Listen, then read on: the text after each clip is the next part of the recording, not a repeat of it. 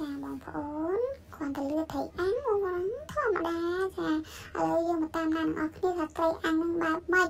ហ្នឹងហើយនិយាយទៅវាអត់មានអីច្រើនទេបងប្អូនគាត់ថាយើងបន្ថែមតិចតួចចឹងទៅដើម្បីបានរសជាតិថ្មីក្លិនថ្មីអញ្ចឹងណាហ្នឹងហើយអឺខ្ញុំមានច្រើនទេបងប្អូនគឺមានតែត្រីមានតែអំបិលមានតែ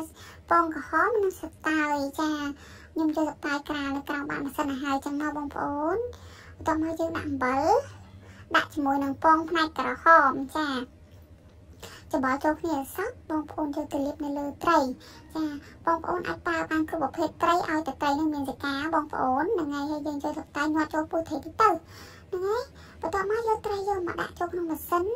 យើងអាំងកម្ដៅ108រយៈពេលអាំង30ទៅ40នាទីចឹងទៅណាបងប្អូនចា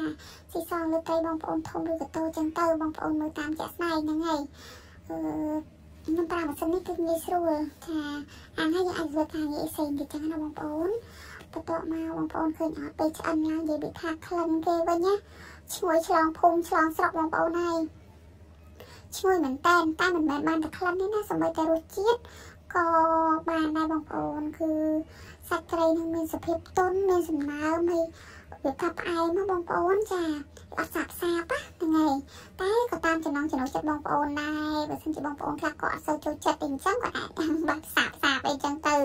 ចាអឺនេះខ្ញុំញ៉ាំជាមួយទឹកថេមពើទុំ